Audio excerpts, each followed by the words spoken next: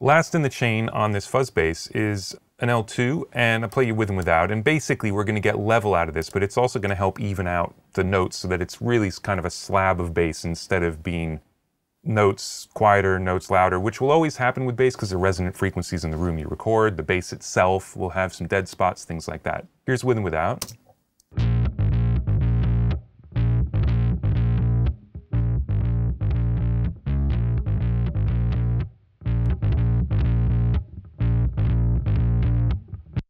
It's just doing the job, bringing it up in level, but also every note's exactly the same level. Now, I'm using a limiter in this case because, first of all, a limiter is just a compressor with a very high ratio. That's it. 100 to 1 is the definition of now I'm a limiter instead of a compressor, which means you'd have to go up 100 dB on the input before you went up a dB on the output. So it's basically brick wall compressor is what it really is.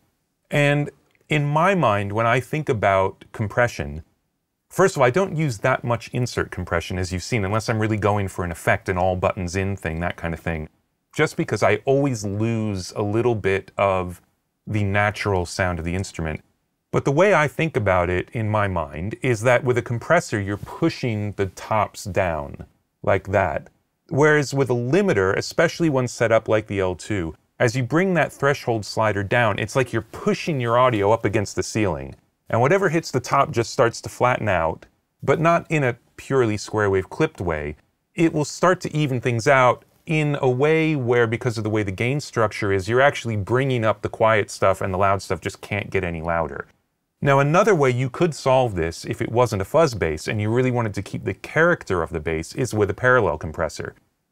Then you can overcompress it, which will severely even out all the notes. It'll also bring up the reverb. But then as you blend that back in, what'll happen is, because the compressor is so consistent, it will sort of lessen the difference between the notes. So that's kind of a best of both worlds thing where you keep the purely natural sound of the uncompressed bass or guitar or whatever it is you're trying to even out, but you get a little bit of the dynamics control that comes from compressing the hell out of something.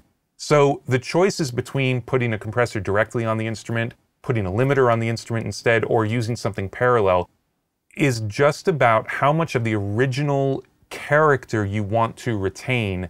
And then you'll start to build up a library in your head of what sounds good in those three different modes, and then you just move on from there.